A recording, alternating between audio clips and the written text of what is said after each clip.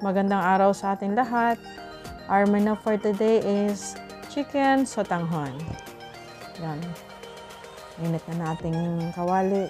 So, drop na natin yung bawang.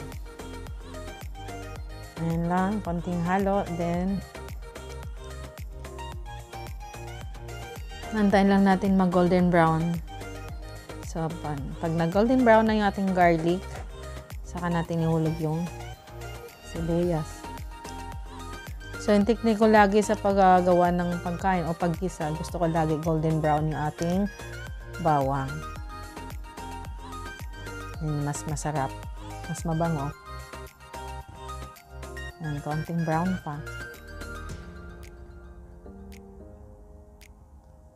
Kaya mapapansin nyo doon sa mga noodle soup, mas masarap na yung may crispy garlic. So, kaya, ayun. I-crispy natin yung garlic natin. So, ayan na na. Wow. Golden brown na siya. Yan. Okay. Tayo ng ating sibuyas. Santayin lang din natin bumango yung ating sibuyas. So, ibig sabihin ready na. I-drop natin yung iba pa.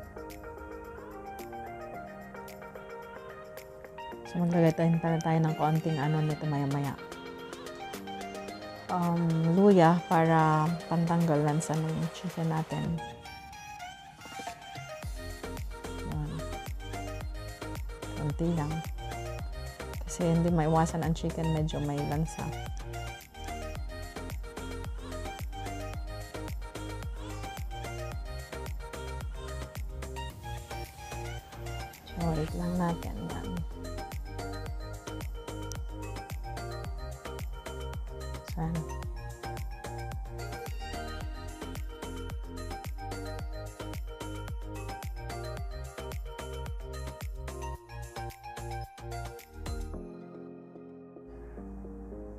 Okay, drop pa natin yung iba pang chicken.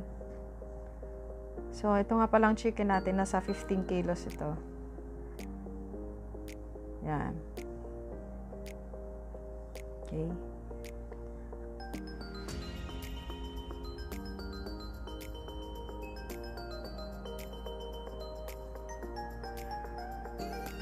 Timpla lang natin ng iodized salt. 15 kilos yung chicken, 1 kilo yung sibuyas, 200 grams yung bawang, then dalawang kutsara yung garlic. Tapos dalawang kutsara din itong paminta.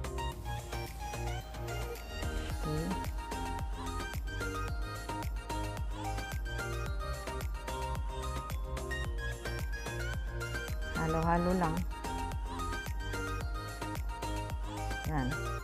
Si Lawrence na magalo, hindi ko kaya. Kung mapansin nyo, akala nyo kakaunti yan. 15 kilos po yan. Kawa po yung lutuan namin. Yan, medyo pag hinalo, hindi ko na kaya. Kaya siya na yung pinaghahalo ko. Okay.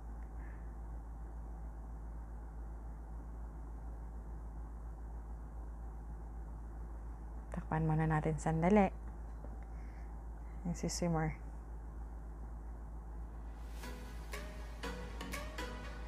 Yan, dadag na natin yung tingang daga.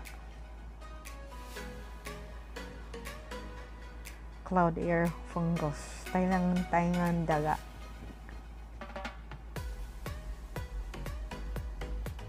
Yan. For 5 minutes, ito na.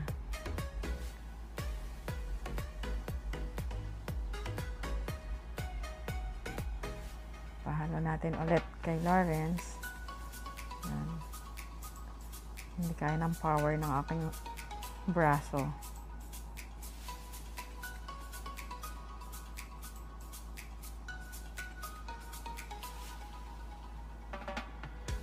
Yan. Takpan natin ulit sandali.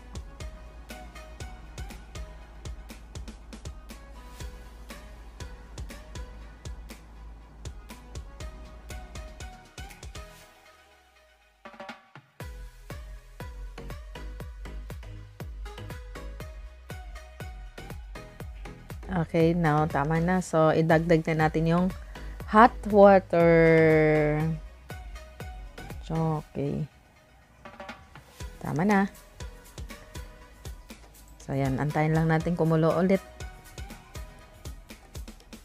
Then, drop na natin ng mga gulay.